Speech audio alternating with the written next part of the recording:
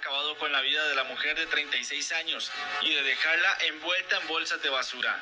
Junto a él, otro sujeto costarricense de apellido Campos se encuentra apegado al proceso, pero actualmente en libertad. Se puso la orden de captura internacional para poder buscar el salvadoreño y comenzaron como avanzar las pruebas, como una nueva investigación. Nosotros pedimos una, un tiempo a la fiscalía que nos diera un tiempo más para nosotros poder aportar unas pruebas junto al abogado para que se pudiera de alguna manera eh, esclarecer de una mejor forma el caso.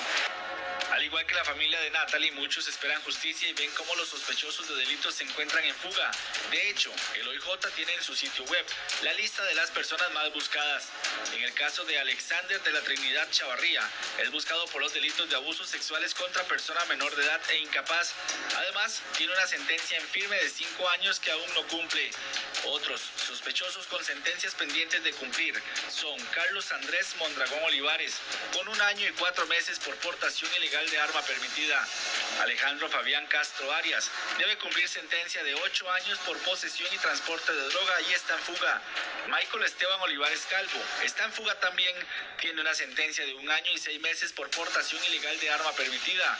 En el caso de Víctor Gerardo Segura Fallas, y seis meses por introducir droga a un centro penal.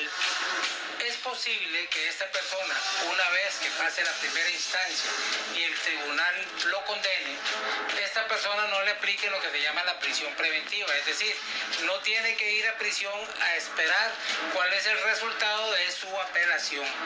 Entonces, en ese interim, entre lo que resuelve el tribunal de apelación y lo que había resuelto el tribunal de juicio, esta persona perfectamente puede escapar de la justicia.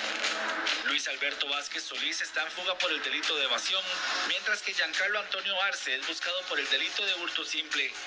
Al saberse imputado, al saberse sentenciado incluso a varios años de prisión, obviamente que la persona va a buscar cómo evadir esta situación y obviamente va a buscar cómo escapar de las autoridades policiales.